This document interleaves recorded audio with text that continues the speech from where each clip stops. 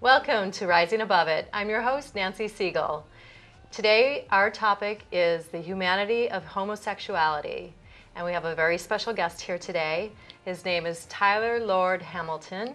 Welcome, Tyler. Thank you. He, Thank Tyler you. is a life coach for gay men, Mm-hmm. and also um, you do a, um, a lot of other things too. So we'll get into that in just a moment. So I'd just like to say thank you for being here. Thank you. And having the courage to come forth and um, and talk about homosexuality. Mm-hmm. So um, who, tell us who is Lord Hamilton, uh, Tyler Lord Hamilton? Who is Tyler Lord Hamilton? Well, Tyler Lord Hamilton is um, he's definitely a social thinker, and I think that um, in line with rising above it, um, I brought a gift for you. Okay. It's not a Mont Blanc. I'm sorry. oh darn! I could always use a pen. You know, I'm an I- author. you are. I know. Thank you for uh, signing your book as well. Um, uh, thank you. I'm excited You're to read it. This is some Oh, Godiva for you. Thank you so much. So Totally. sweet. Yeah. So Oh, that's Thank you. very thoughtful. I appreciate that. likewise. Thank you. Yay. Yes. You know the weight of my heart. oh, okay. oh, who is Tyler Lord Hamilton? That's huge. Um, it's through years of metamorphosizing, identity searching, through drugs and alcohol and um, behaviors, and um, all of that came from loneliness and grief due to my parents' divorce seeing my father trying to strangle my mother when I was age seven put me in some trauma. It affected my learning. And I um, went toward music and um, the theater to gain attention Okay. for that void. And, you know, I never really um, found my um, my missing part because of fatherlessness, and that does permanent damage to men, even daughters. And so homosexuality became a very novel place for me to grow very deep with men very quickly. And um, male hustling, prostitution, um, stand and model, stand and flirt, the bars, the um, the things that define a gay culture that make the religious people not want to accept gay people. That's what I fell victim of. Okay. And I was looking for a surrogate father, a brother, a home. Right out of high school, I was cruising West Hollywood like all the gays do. And I just looked nearly homeless. The, the, the soul was so broken. I didn't know how to build myself up because What I didn't were you have. at this time? This is probably like 19. Okay. I began acting out um, with behaviors with men about about my senior year, Okay. 19, 20. And and let's go. Let's backtrack a little bit. Um, at what age did you know or discover that you were homosexual and not heterosexual? I didn't know I was homosexual as a child. I just was kind of queer. I kind of like, you know, I was a mama's boy, a sissy. Um, kids picked on me. The last name was Newton. Um, my birth name is Jeffrey Scott Newton. Grandmother says we're a little Jewish and we're also related to Sir Isaac Newton. so I always had this edge about myself. I know I can hit big. I, I know I can get my attention. I, I know I'm in Beverly Hills. I, I, I just, you know, I just had that imparted because of my DNA. And so a lot of that culture of narcissism started acting out at a very young age. Okay. Um, so I did have something um, invested in me as far as, as self worth. But when I was specifically looking for male companionship, at a very young age, not knowing it was homosexuality, I was steered toward, you know, Scott Baio on Happy Days. Yeah, real macho, and had that sense of psychological masculinity that I lacked with my father. And um, so I would say I came out of the closet after a mission trip to West West Germany, and I just broke down at church. I says I'm gay. I says I've been to my first adult bookstore in a Fußgänger zone in Germany, and I'm gay. and all the women came up to me and hugging me. Oh my God, I love you! But the men were still a little disconnected. Uh-huh. But I was I was reaching out for congregational leadership and pastoral care, and I didn't really get that mentorship that I needed as a young man, mm-hmm. not even in the church, because okay. there's such a breaking down of leadership and psychological masculinity because of lies and corruption. Mm-hmm. So, I, I, I found more actually in the streets okay. than actually in the church, okay. which is fascinating because yeah. that's where all the trouble was, in the streets. And you found both there. I found I found what I was looking for. Mm-hmm. Yeah, it was fleeting, temporal, transitory, like everything in life. Mm-hmm. And things just went through my fingers, you know. Once I attained um, my glory and I got my pursuit of attention, and um, things fell through and they fell out, and I hit bottom several okay. times. Okay. Yeah. So. So, what created Lord, uh, Tyler Lord Hamilton. Yeah, well, I, I, like kind of, my brother got me this pin. He graduated from Harvard Business School. I'm kind of proud of that. It's great. It is great. Mm-hmm. He's um, someone I really look up to. Straight, very work ethics. And I was visiting him in Cambridge, Mass, him and my sister, and I was just walking around looking at the lions, because I'm also a Leo. Okay. I was, I know, I was born the same date as Lucille Ball. I just have a different year. Okay. August 6th. And so I was just like thinking, God, you know, Tyler Hamilton. I wish I was related to George Hamilton because he's gay and his son's gay, and they're cool with that. And and I was just fixated on building myself up and leaving my father and that grief and that hate that I have toward that loss. And I just fell in love with Lord. It was my way of my self-preservation, self-aristocracy, building myself up, and um, I'm not the Antichrist. I don't have a gay agenda. I just did that for my own my own lordship over my own thoughts and my own behaviors. And so that, that, that grew me up. with you. It resonated personally to my DNA mm-hmm. and Great. And I encourage men to look for a new name.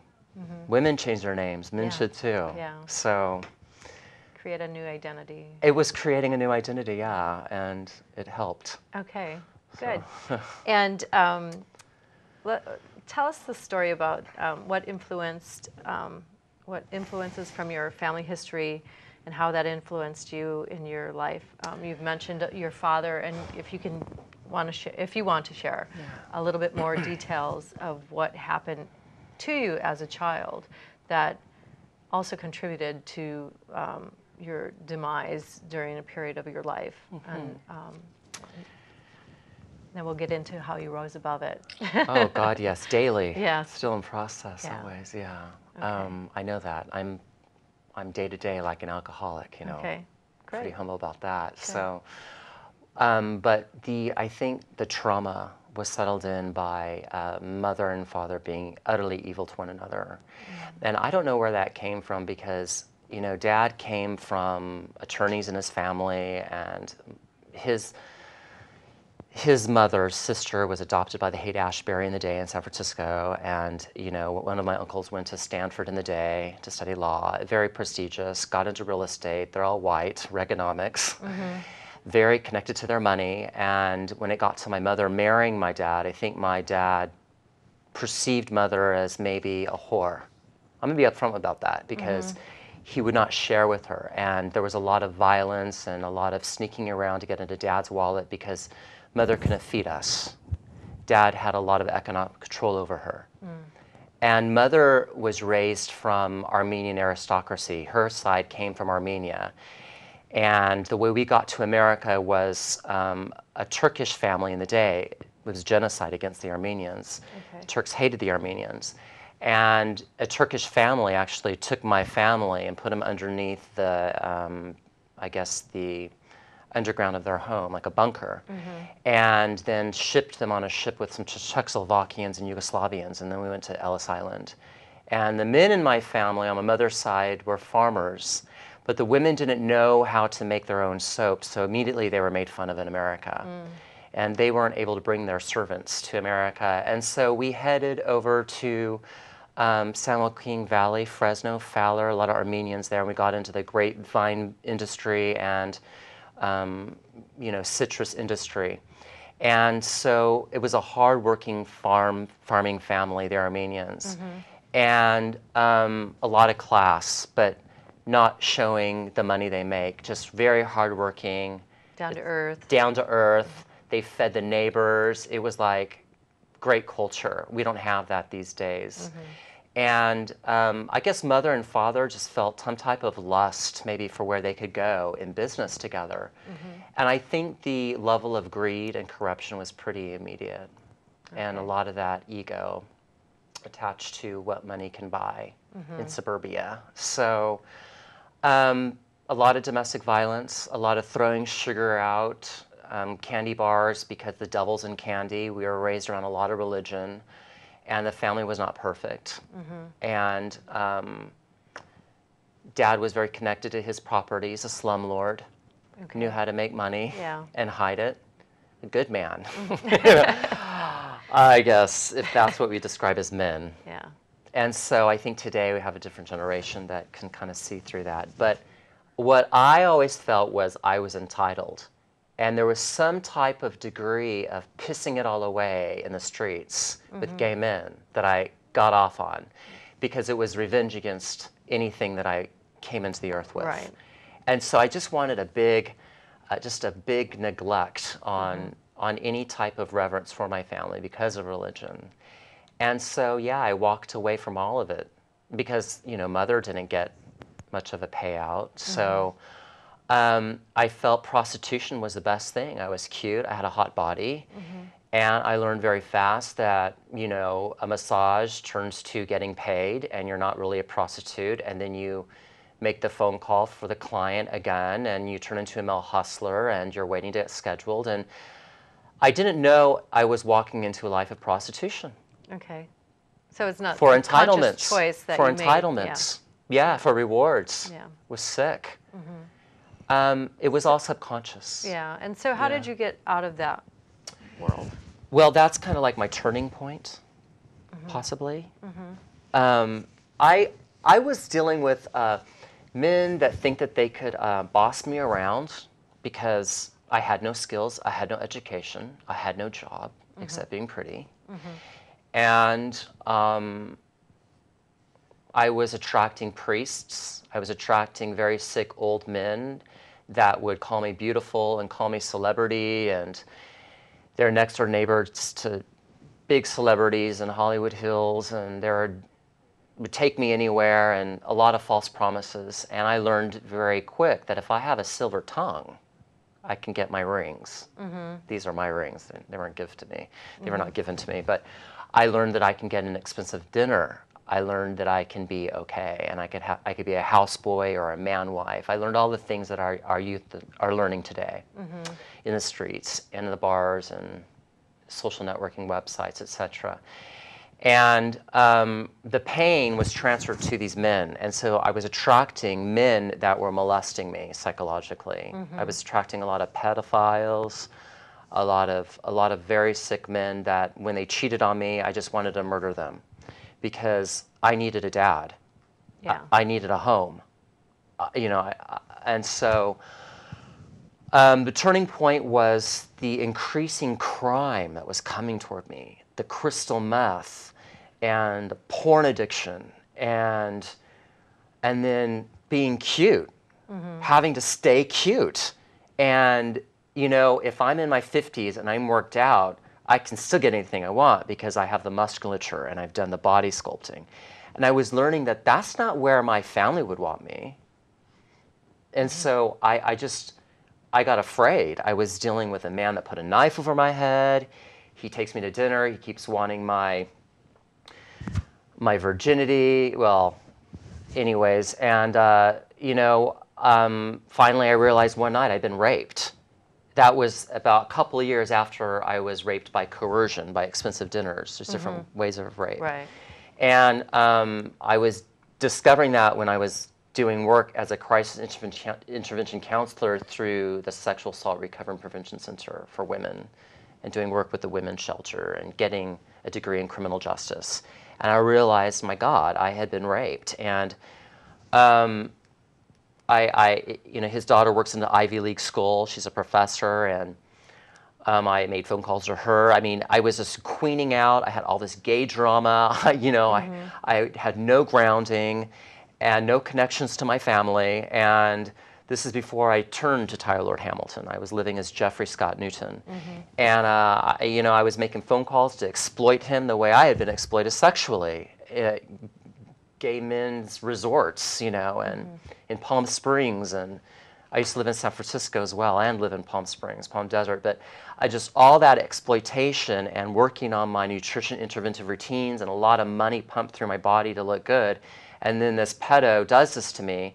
I just, I was like, I was calling this girl's school, his daughter, and I was just reacting. It, Right. That the pain was so immense that the only thing that could heal me would be like drugs and alcohol. And that's when I discovered drugs and alcohol, really. Okay, so But so an accumulation of all those things really created that turning point. Mm-hmm. You know, just incredible um, t- terror, okay, terror it was terror. through men. Yeah. Okay. So at that turning point, um, what did you what did you do next to to Mother you're in the crossroads and you have a choice now of what to do with your life. What did you choose? at that time, I had to become institutionalized. Okay. And um, mother had no choice. She says, dude, we need to take you to the psychiatric unit. Okay. and um, that had happened maybe a couple of times. My ex boyfriend, who had AIDS in Palm Springs and a lot of cocaine and a lot of martinis and a lot of money, um, you know, he had to even take me to the hospital. I mean, because my psyche was so low because of father and that loss of psychological masculinity and the loss of my innocence and my loss of my manhood, and never really being able to hold on to it as trust with men that I had been with, strangers I had been with. And um, I think I had to get that type of help, psychiatric, to decide that I want to go back to school and I want to straighten up. Interesting.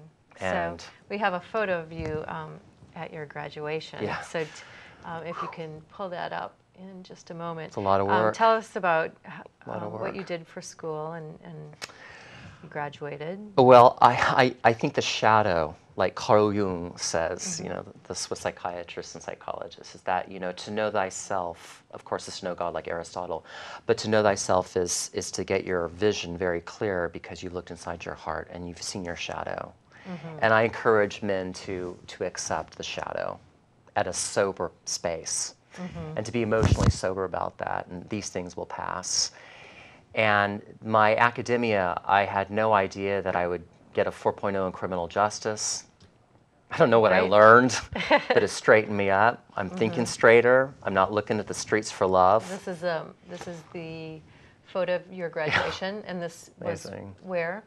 This was at Grand Canyon University, a small Christian liberal arts school in Arizona, and um, it's my master's in public administration degree with an emphasis in government and policy, and that that's made some connections with um, Das Williams as well as Lois Capps, our congresswoman. So mm-hmm. I've been able to attract better energy because I I chose to. I'm gay, you know, but I'm mm-hmm. thinking straight. Yeah. You see, I'm thinking straight. and so it's, it's attracted people that are into social justice, pre- mm-hmm. you know, prevalence and democracy promotion and the issues I care about for men and our youth. Yeah, so. Great. And you're still continuing to go to school. Yeah, I'm getting a PhD right now at GCU, Grand Canyon University, same school. In Congratulations. ge- thank you. It's a lot of work. General psychology with an emphasis in cognition and instruction. I think our men have a cognition problem. They get connected to their, their money and um, their prestige. And they do. They they identify themselves with money and sex. yeah, sex, a lot of sex. Yeah. And a lot, a lot with it's distorted, me, too. Being a female in just in the heterosexual world, it, they connect their wallet with relationships sex and and sex. Yeah. Yeah, a And lot of male really hustling is a lot of male hustling is figured in when you got two guys that relate eye to eye, and one kid needs money and the other one has the Mm-hmm. Sure, money. yeah. There's The this power dynamic. a lot of power dynamics, a lot of exchange Yeah. of power, and it's very uh, very dangerous. Mm-hmm. It's linked to a lot of different political homosexuality and a lot of different political problems too. Mm-hmm. So. Okay. Um, so we've talked about you, your losses in your past and reconciling your life, and how have these struggles um, created your life circumstances um, and made you who you are? Well, I, I think these life circumstances and the pain that, that I still resonate with because it's me. Yeah, it's like, you know, and um, has allowed me the courage after my academia and my scholar practitioner work, you know, getting, getting my, you know, sleeves up and my hands dirty and linking it with scholarship and books, the scholar practitioner of helping men. Um, nothing fazes me. I've, I've had a mafia family say, hey, Tyler, tell the priest if he doesn't leave you alone, we're flying out there and we're going to throw his head against the parish hall and, and slash his wrist and we're going to fly back to where, where we're at. They're, they're just blowing smoke, of course. But I mean, I've, been, I've had really good people, regardless of their abuse and mafia, support me because they know I'm trying to think straight. And um, I can speak to men. Men, men, men are, are really honorable, but they can slip. And if it affects business over family, they'll lie about it. And I think holding men accountable is very keen. And I think gay men are really looking to be, you know, um, called to task and out of the woodwork and say, you know what, you can inspire men to stay with their wives. Mm-hmm. So we find a lot of gay, gay men dealing with straight men, you know, that are curious of the gay culture because of rich fag America, etc. Mm-hmm. Mm-hmm. So I think these experiences and the pain has allowed me to say, men, you lie. You know, I've had to, I've had to um, withdraw from helping men because they're lying to me. They get away with it in the business world. It's the cheating culture of ongoing hate. People are hurting. It's okay to lie because everybody else is doing it, but Right. not everybody else is doing it. Right. So And it's a choice. it is choice. And there's consequences to both, whether you tell the truth or you tell the lie. There is white lies, and Yeah. there's some things that need to go better unsaid. And I have very conservative views on on um, don't ask, don't tell. Mm-hmm. Um, I understand both sides. okay. Self protection. Okay. Yeah. Um, let's see. Uh, in a moment, we're going to pull up a video clip of your baptism, and if we can Oh. tell us a little bit about that Mm. um, and how you got involved with being baptized. I was baptized at the age of like 10 at church camp. Okay. And so I always had that as um, an, a collective, you know, people sharing in some type of spirituality or playing religion or whatever people want to say. And um, I just, I just hit so bottom with, with my, my, my, you know, my rebel. No, I don't want to use the word rebellion. My, my sexual liberation you know that's okay no regrets that pulling myself up was just kind of washing my hands of stuff i had consciously know i have done and i just did the second baptism because um, i'm afraid of burning in hell my religion taught that to me Okay. my homosexuality taught that to me Okay. and the politics. So um, I was baptized by Minister Jerry Jones from Oxford University, and you know he teaches at Pepperdine University, and and it's a Church of Christ in San Luis Obispo, and the church was actually where Weird Al used to go before he hit big and became famous. Okay. so it's, they're very into status, and we all are into our status markers. But um, but you know, um, yeah, I just kind of wanted to show him off the Oxford, and um, uh, you know, I really I really um, look up to men that have gone very far with their academy. And thinking straight, and so Okay. Jerry Jones baptized me, man. He just Great. amazing guy. Okay. So if we can pull up the video now. Tyler's come to be born again of the water and the The New Testament doesn't teach that we save ourselves by getting baptized. It says that God saves us. But the Bible does teach us that the, the blood of Jesus Christ takes away our sins. The Bible makes it very clear that it's when we repent, when we believe, that we should place our faith and our trust in Jesus, His dying and His rising again. Amen. The New Testament teaches in several places, Romans chapter 6 and in Colossians chapter 2, that baptism is for those who believe, those who repent. In Colossians, it's described as being a kind of starting point. It's comparable to circumcision, something that initiates a person into the faith. In Romans chapter 6, he says, it is the place where we join up with the death.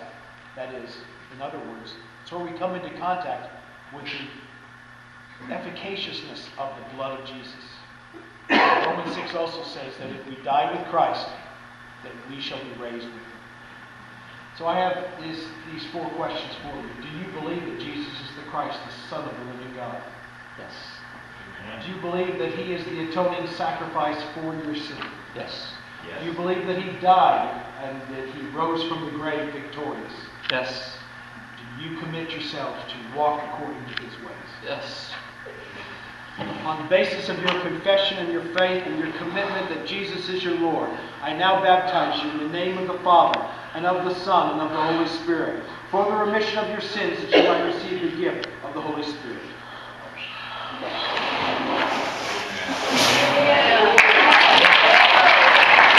Very exciting. okay. Thank you. Thank you. what was going through your mind during that baptism? How um,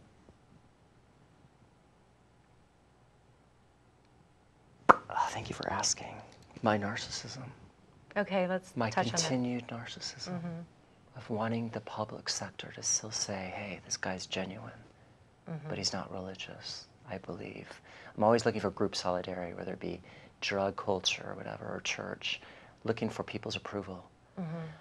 Um, not a lot of people are going to relate to that baptism Right.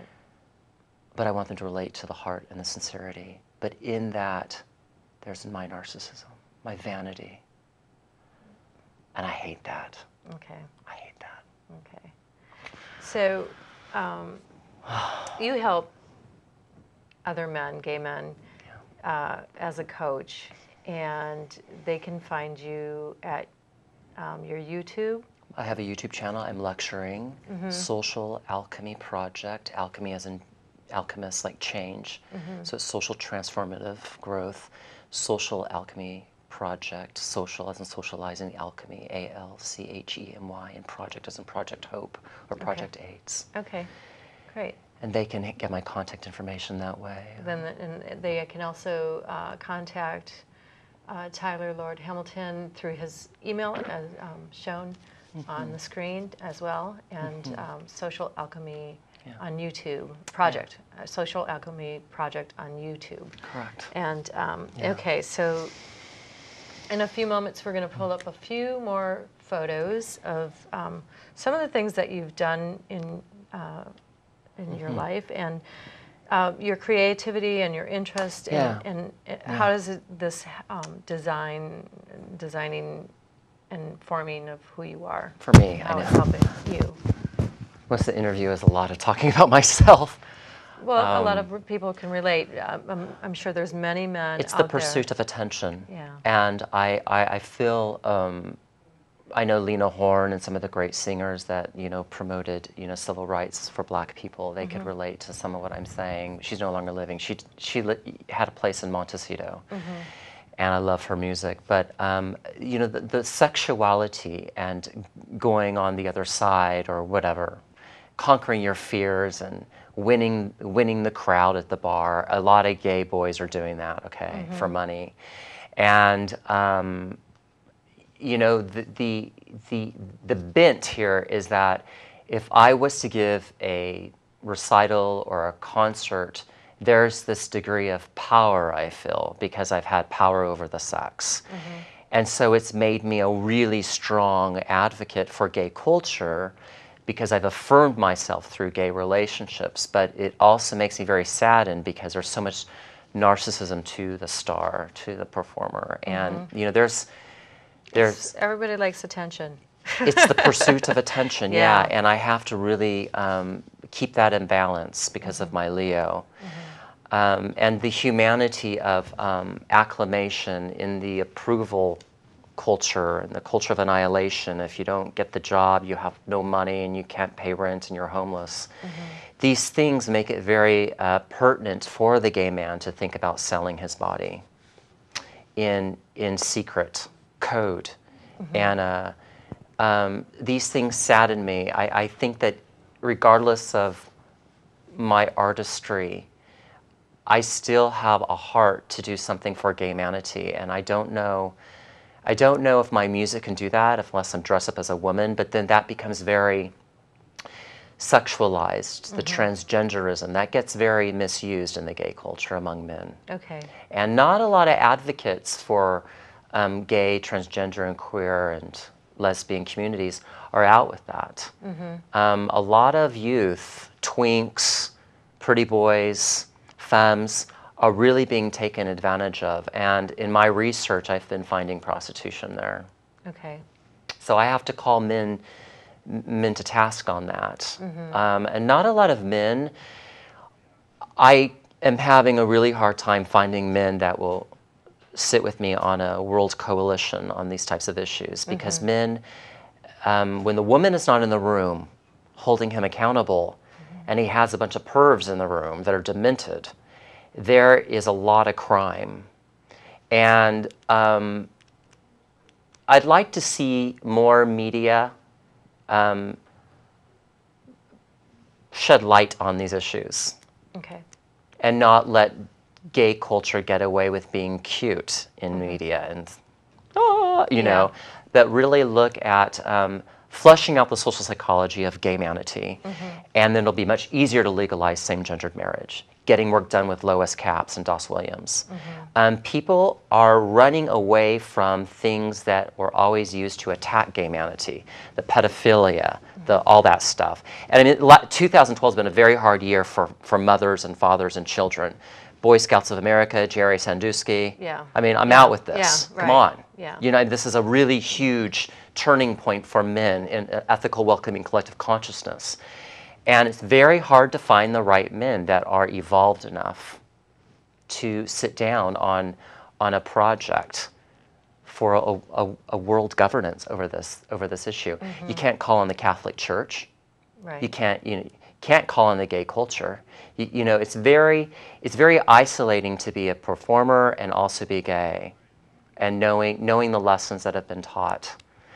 So it's it's good to see the baptism again. I wouldn't mind getting baptized a third time in a couple of years from now. I'm like, and maybe you can. maybe I can. Just to just to it's cathartic. It's like going surfing. Okay. Yeah. Uh, let's bring up the next uh, few photos that we have of Tyler here.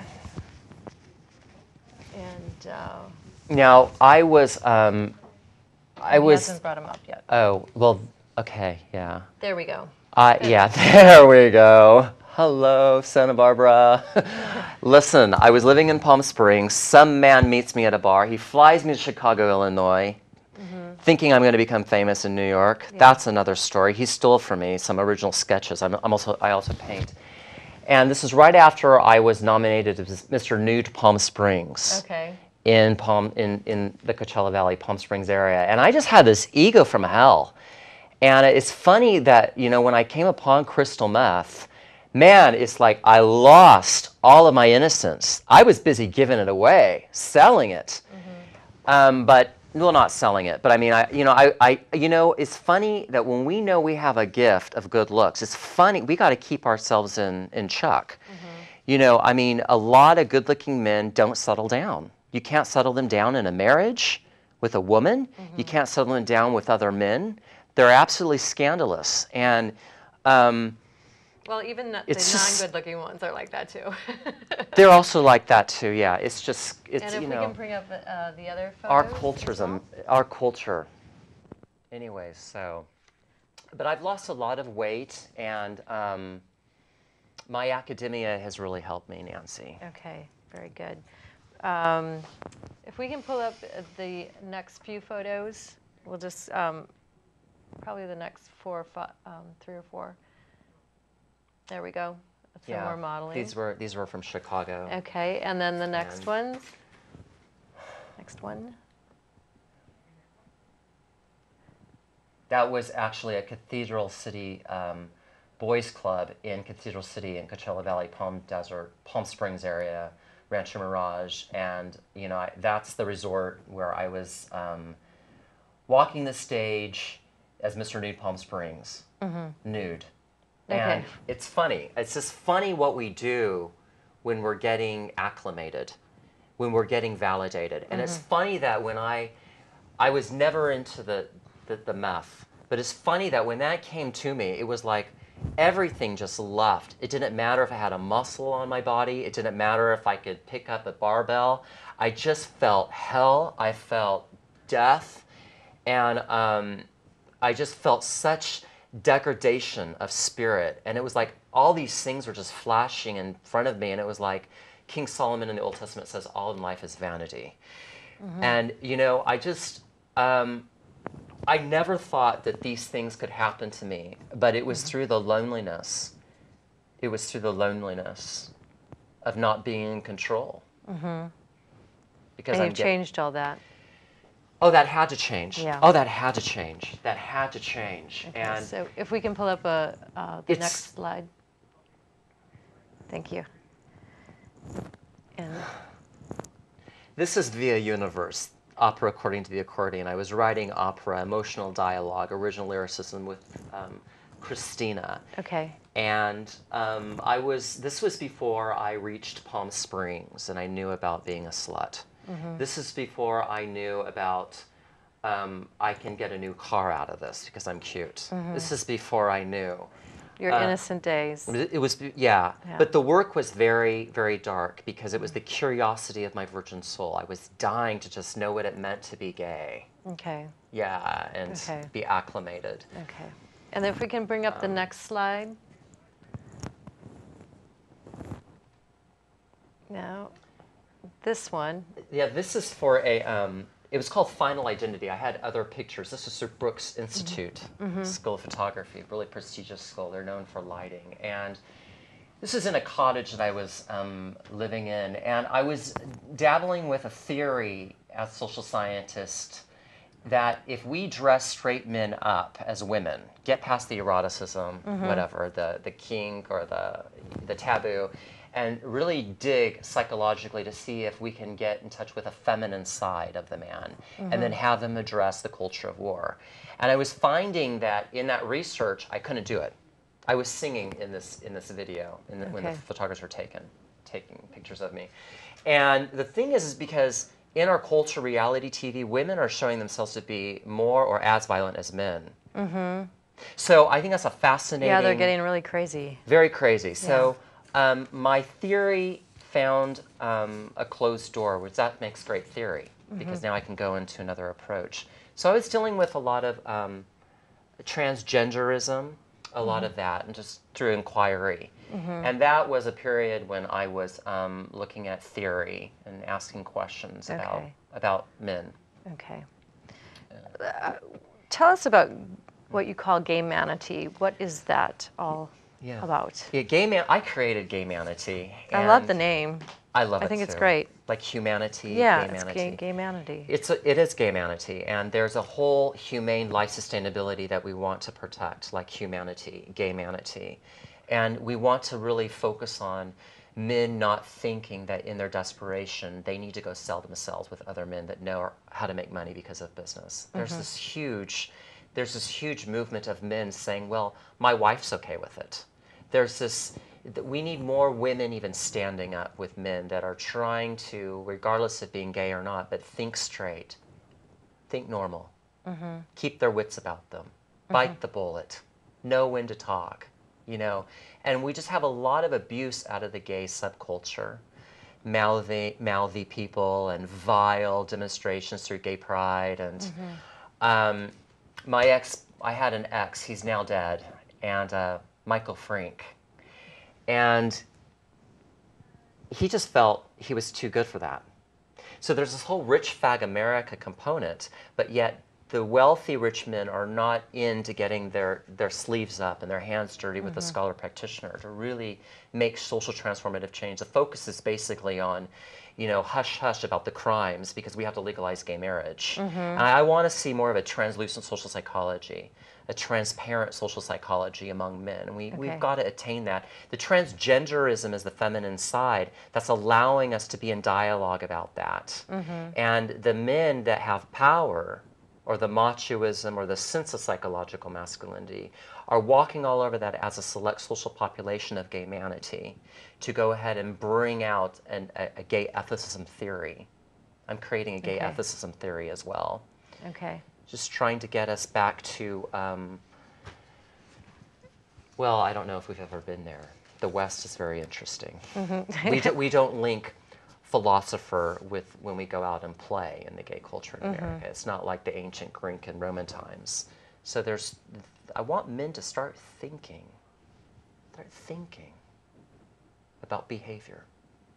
And owning their it, yeah. responsibility yeah, to that. owning that responsibility yeah Mm-hmm. everything's about social responsibility and and i'm not finding that in the subculture when when men are in discourse with one another So, Um, that would be gay How- manity okay, and how would how do you fix that? Like how how besides Yeah. creating a project and a coalition to to transform the culture, how else can you do that? yeah i, I think i think um, it requires community Mm-hmm.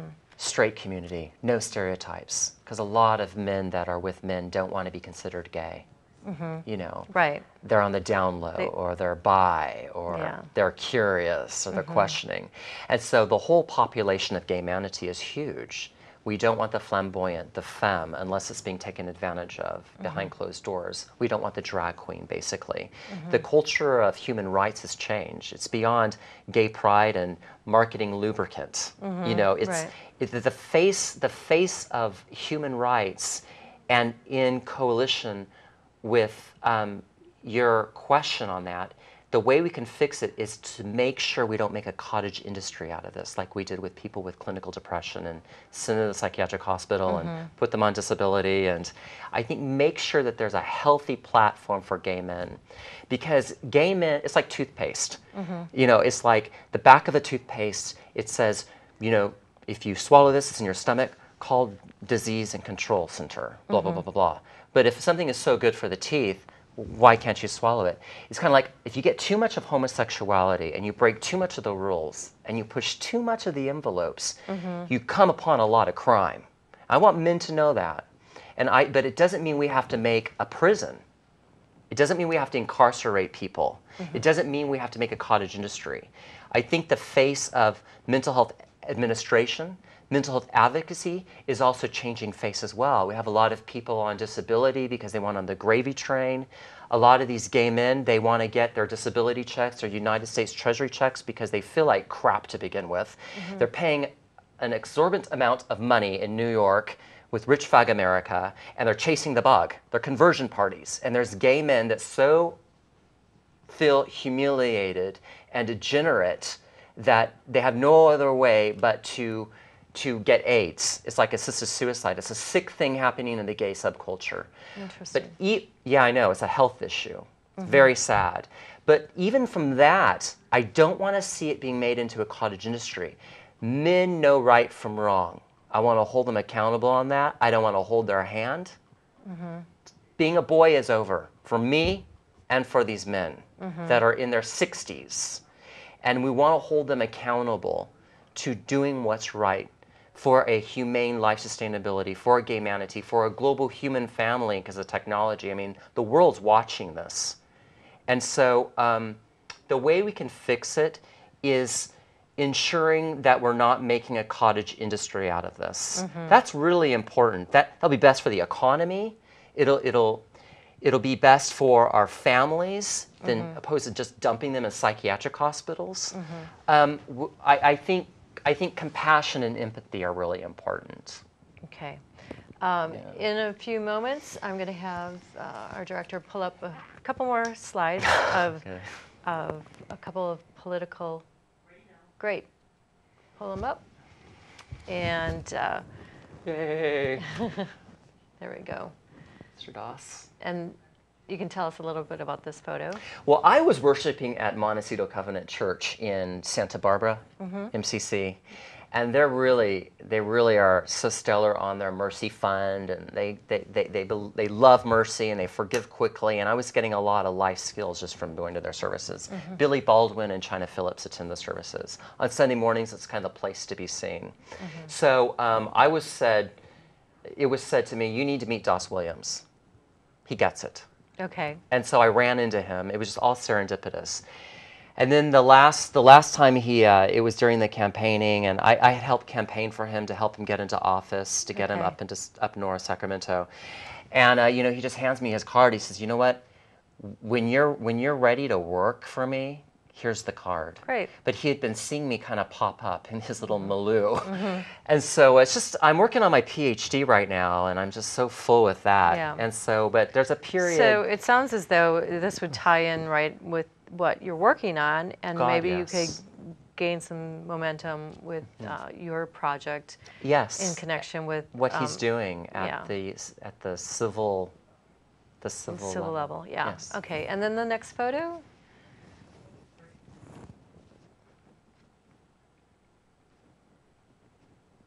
There we go. And this is of the opposite spectrum. She's gorgeous. Lois Capps. She's gorgeous. You have a you're on the side of the Democrats and the Republicans. I know, I know. That's okay. That's know. okay. There's nothing wrong with that. I love red. yeah, you know, she attends Grace Lutheran Church on Upper State Street. Okay. and uh, I, you know, I'm sitting in the pew, and she walks in, and and uh, you know, I I know Lois Capps from stuff I was doing in San Luis Obispo, and I had talked with her at Mitchell Park years ago. Um, I was doing work around, um, you know, campaigning a little bit, nothing big, and so um, Lois Capps to me. Um, she forgives quickly. She knows forgiveness. And I just, you know, we're doing seismic testing and we're trying to advocate against PG&E and what they were doing. They were killing a bunch of the ocean, the ocean life in Diablo Canyon area. And she came out and spoke, and you know, I was in a project, you know, save the wells kind of thing, and Yeah. thank the wells. And so there was connections I was making with her office in Washington D.C. and I was dialoguing, and then I. I'm talking to her at church, and so I went to her lecture at Trinity Lutheran, and uh, you know she talked on stewardship and being a person of your word. And I stood up and I said, Lois, I said, how do you integrate gay manity at this? Because they're really hurting. And these are some of the crimes that they're involved with. And nobody needs to know because we want to legalize gay marriage. And I said, this is the reality. And she says, that is a great question. And she just kept her eyes on me through the rest of the workshop. Mm-hmm. So I want to finish that PhD so I can get my project, more of my project up and going with my board of directors. And there's things that, that are in the making. Okay. Great. So that's kind of where she where she's at with that. Okay. And um, yeah, sorry. Great. No problem. Um, let's move on to some tips and strategies. Uh, we have about nine minutes left. So, um, you have some tips and strategies for the viewers and um, for those out there that may be struggling with their homosexuality Yeah, and Yeah. and their lifestyles and all that comes with it. So, yeah, so yeah. tip number one. Well, tip number one is that there's a lot of fancy. There's a lot of getting lost in the fanfare. You know, mm-hmm. the house music is on and everybody's drinking, or, or you're isolated and you're alone and you're Mr. Critical and mm-hmm. you're just sizing everybody up and seeing if they have, you know, what you want. And this is all be through attraction and what's appeasing somebody. I think tip number one is that it's all transitory. It's all temporal and fleeting. It's all mm-hmm. carnality. And I'm not doing it to play the religious card. But, you know, when it's over, it's over. You're still with yourself. Mm-hmm. And I want men to really have themselves put together and not break their consciousness, not make their mistakes. If they do, there's grace, there's forgiveness, they're cool. They can move on and learn from their mistakes. But that tip is that it's all carnal. It's like toothpaste. When you're finished with the good, you just spit it out and it goes down the drain. And so I think that's a really important thing for them to realize. Okay. Um, there's more love in the world than what we believe. There's a lot of love. There's a lot of love in the world. There is. And we're so skewed. And we have a choice to focus on what we want to focus, whether we, We want to. do. We, we want to focus on love, yes. or we want to focus on the not so loving or the hate. yes. And yes. I choose to focus on the love because that's all they're. that's all I'm all about. That's what put us here. You know. That's Right. really helping mm-hmm. you rise up and soar. Absolutely, and it gives you it's empowerment. It's like it, love is empowering. You know, the other stuff you can Isn't just that the truth? Um, Yes. The, I think the distortion of empowerment is when we get involved in the carnal and Mm-hmm. it, it loses our soul. I don't want men to lose their souls. Mm-hmm. Um, my other tip is that we have to create a moral compass. That's very, that's very um, big right now. There's no morality because of ethical relativism and moral relativity. Pardon me. And and so if we create a moral compass, I also got you another gift, Nancy. as part of the strategies and Really? tips. It's toothpaste. this is Ayurvedic. I am going It's, to the- use it's this. the best. How'd you know? well, no. Well, you know, Colgate and Crest. it- now this isn't a hint, is it? no, no, no, no, no. It's just there's bad You're so- toothpaste and good toothpaste, and it's like that with love great. and men, and it could ske- it could really you know steer us in the wrong direction of that moral compass. What are your goals? Where do you see yourself in ten years? And I want I want men to remember that. So um, the next one is that. Um, we need to recreate success, and we can't live off of our daddy or our mommy or our family heritage. We've got to create our life. We're here to build. And it's exciting, it's wonderful, it's filled with um, opportunity. And, and the, the tip from that would be don't be afraid to give opportunity to people, don't hoard your opportunities. Don't be afraid that you're going to lose it. Yeah. Share. It's so important. I um, in many industries that, that I worked in, like whether it be being a massage therapist or hypnotherapist, people are they focus on the scarcity yes. and they create their own fears and, and they think I can't share this client with this person because that person, you know, I'll lose that client and I won't have any money and you know creates catastrophic thinking. And really w- when you start sharing like the abundance comes back to you. Nice. And it does. The It may not be immediate, but it does come back. Yes, yes. yeah. Mm-hmm. That's that's real trust in your universe too. Trust is a factor in Yeah. there too. So I think that all the tips and strategies would be very humanistic, Mm-hmm. very humanity for homosexuals as well as As anybody, anybody, anybody. anybody. Yeah. That's great. Um, any other Tidbits. yeah. Um, you know, when you talk about love and you talk about bounty, Mm-hmm. we have to latch onto that is gratitude. Okay. We have to hold on to gratitude, Mm-hmm. even for the, the smallest little things. Gratitude. And when I'm afraid of losing something and the men I help are afraid of losing something, I say, you know what? If you're grateful for that, I bet you get to keep it. Give yourself five months. Mm-hmm. And five months later, they're like, I get to keep it. Nothing went wrong. Great. So, yeah. Great. So um, please share with the viewers uh, where they can contact you again or where they can find more information about you. Thank you. Um, you can Just do a search under Tyler Lord Hamilton. on And Google. Yeah. Google. Yeah. Yes. And um, my email is Social Alchemy Project. It's the same name of my YouTube channel where I'm lecturing. Okay. Social Alchemy Project at yahoo.com for email. And you offer uh, I coaching. offer counseling. Yeah. Um, I'm not on a licensure track to be a clinical psychologist. Mm-hmm. I don't have a law degree, but um, my background is criminal justice, public administration, leadership, cognition, social psychology of men, and just coming clean. with, with, with where you're at and where you want to go and what distractions there might be.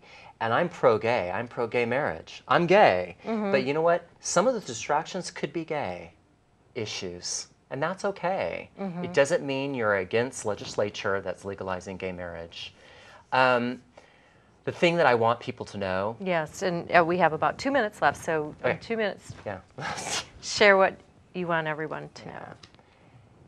that if you put your mind to the right things, right things will happen, not wrong things. The right will happen. And that would mean um, acknowledging that we have a lying culture and we use gender and sex to sabotage that because it's fun. And that's not right. It's just to do a close introspective look. So to look inwards, Look inward, yeah. yeah. Yeah. Yeah, and I think that's very important because oftentimes uh, people are too busy looking on the outside and not and, and afraid to look inside.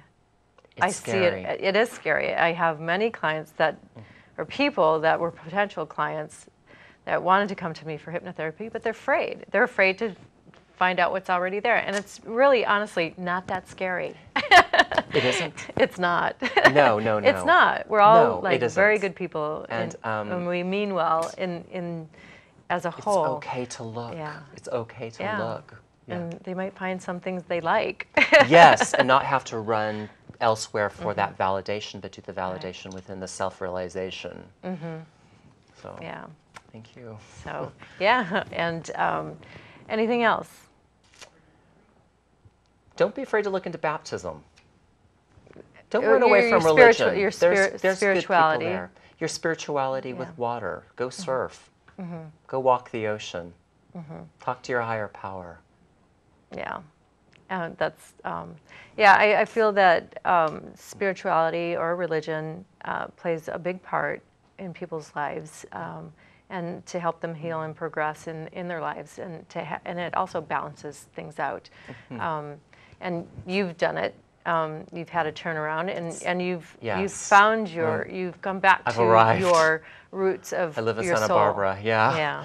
And I've got, yeah, I've made it. Thank you, Tyler, for being here. You can do it. Yeah.